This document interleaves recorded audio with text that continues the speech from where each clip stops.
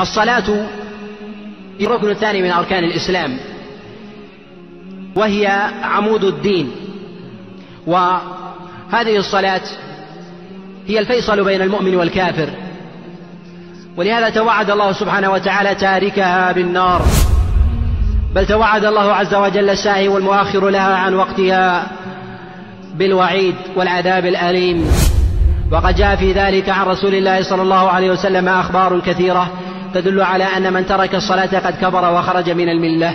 من ذلك ما رواه الإمام مسلم في صحيحه أن رسول الله صلى الله عليه وسلم قال بين الرجل وبين الشرك والكفر ترك الصلاة.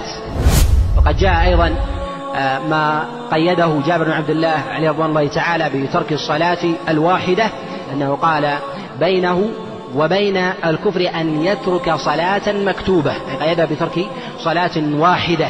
ويكفي في الوعيد في من تركها أنه يحشر مع فرعون وهامان وقارون وأبي بن خلف كما روى الإمام أحمد والطبراني وابن حبان وغيرهم من حديث عبد الله بن عمر أن رسول الله صلى الله عليه وسلم قال من حافظ على هذه الصلوات حيث ينادى بها كنا له نورا ونجاة وبرهانا يوم القيامة ومن لم يحافظ عليها لم تكن له نورا ولا نجاة ولا برهان يوم القيامة وحشر مع فرعون وهامان وقارون وأبي بن خلف ومن حشر مع هؤلاء فلا أفلح ولذلك قد ذهب الصحابة عليهم رضوان الله تعالى بالاتفاق وذهب التابعون إلى أن من ترك الصلاة سواء كان جاحدا لوجوبها أو كان تاركا لها على الكسل والتعاون أنه كافر خارج من الملة وهذا محل اتفاق عندهم والخلاف إنما طرأ بعد ذلك.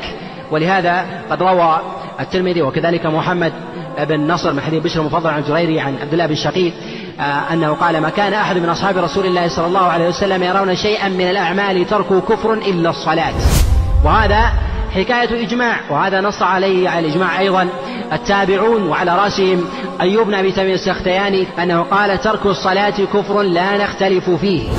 ولهذا الذي عليه إجماع الصحابة وكما قال الإمام أحمد عليه رحمة الله تعالى الإجماع إجماع الصحابة ومن بعدهم تبع لهم. أن من ترك الصلاة فقد كفر.